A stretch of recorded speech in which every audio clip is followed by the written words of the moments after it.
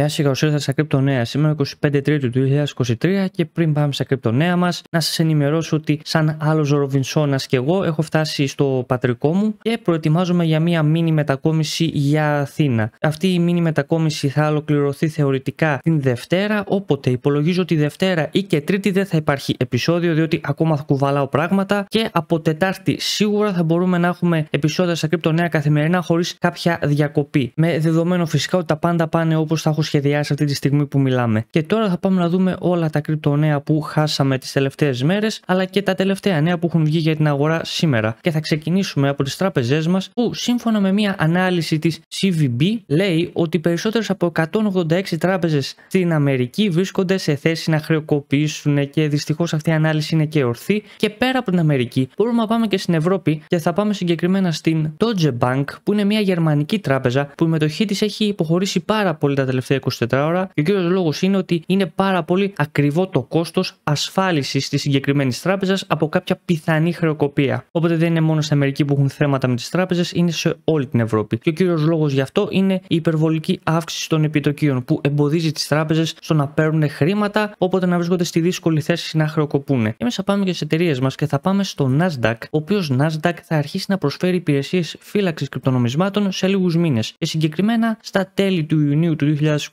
θα ξεκινήσει ο Nasdaq να κρατάει για εσά τα κρύπτο σας και να μην χρειάζεται να το κάνετε εσείς. Και αυτό είναι πάρα πολύ θετικό, διότι ένα από τα βασικά προβλήματα που έχουμε στην κρύπτο αγορά είναι ότι ο κόσμος δεν ξέρει να φυλάει τα κρύπτο του και να τα φυλάει σωστά. Οπότε όταν μια τόσο μεγάλη εταιρεία όπως ο Nasdaq έρχεται και προσφέρει αυτή την υπηρεσία, θα φέρει πάρα πολλούς επενδυτές που δεν έχουν ιδέα πώς να το κάνουν αυτό, θεωρώ τουλάχιστον. Και εμεί θα πάμε και στην αγαπημένη μας SEC, που η SEC έστειλε ένα μήνυμα προειδοποίησης στην Coinbase και είπε χαρακτηριστικά στην Coinbase ότι οι υπηρεσίες staking που προσφέρεις δεν είναι νομικά ορθές και αποτελούν προϊόντα τίτλων. Και γι' αυτό το λόγο έχει ζητήσει, θεωρώ ευγενικά από την Coinbase να σταματήσει αυτές τις υπηρεσίες και δυστυχώς η Coinbase μάθαμε ότι σταματάει το staking για το Algorand. Οπότε πάρα πολλοί στην αγορά λένε ότι η Coinbase πάει να γίνει το δεύτερο Kraken και το βλέπω να πηγαίνει κάπου εκεί δυστυχώς. Παρ' όλα αυτά, οι συγκεκριμένες ειδήσει δεν σταματάνε την κυρία Cathy Wood της ARK Invest να αγοράσει 18 εκατομμύρια δολάρια σε μετοχές της Coinbase. Και εν συνεχεία για τη SEC, θα δούμε τη SEC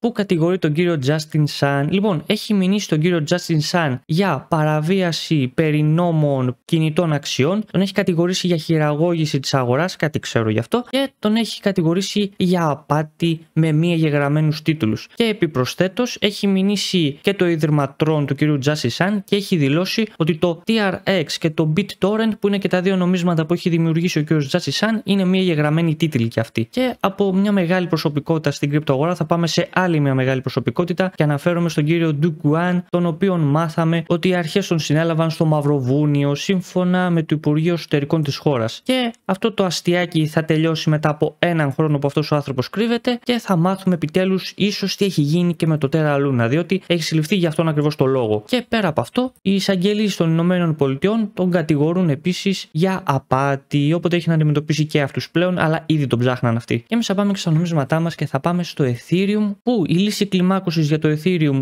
ZK Zinc, που όταν λέμε λύση κλιμάκωσης εννοούμε κάτι που θα κάνει το Ethereum να τρέχει πιο γρήγορα, έχει μπει στο Alpha Mainnet. Πάρα πολύ θετικά νέα μετά από 4 χρόνια που ακούμε για αυτήν την τεχνολογία, επιτέλους βλέπουμε κάποια βήματα πρόοδου. Αλλά όπως δηλώνουν και οι βασικοί προγραμματιστές, είμαστε πολύ στην αρχή ακόμα και να μην περιμένουμε άμεσα αποτελέσματα. Και εμείς θα πάμε και στο τελευταίο νέο της ημέρας μας και θα πάμε στο Tether. Λοιπόν, το Tether πλέον θα μπορείτε να το μεταφέρετε και μέσα από το Telegram. Και οι λογαριασμοί του Telegram μπορούν να στέλνουν ουσιαστικά μεταξύ τους κάποια νομίσματα Tether, δηλαδή δολάρια. Αλλά να πω σε αυτό το σημείο ότι δεν βλέπω πολύ καλά τα πράγματα για το Telegram, διότι όπως ξέρετε η SEC, η Fed και γενικότερα η Αμερική δεν αρέσκεται όταν βλέπει διάφορα δίκτυα να μετακινούν δολάρια χωρίς οι ίδιοι να το ελέγχουν αυτό. Θέλουν να έχουν τον πλήρη έλεγχο. Και εμείς θα πάμε και στην κρυπτογορά, η οποία είναι σταθερή για άλλη μία μέρα, παρότι η Fed ανέβασε τα επιτόκια 0,25%. Κάτι το οποίο θεωρώ ότι ανάμενε όλη η αγορά και γι' αυτό το λόγο ήταν σταθερό το bitcoin, το οποίο αυτή τη στιγμή στέκεται στα 27.500 δολάρια και έχουμε και αυτήν εδώ πέρα την ωραία αντίσταση στα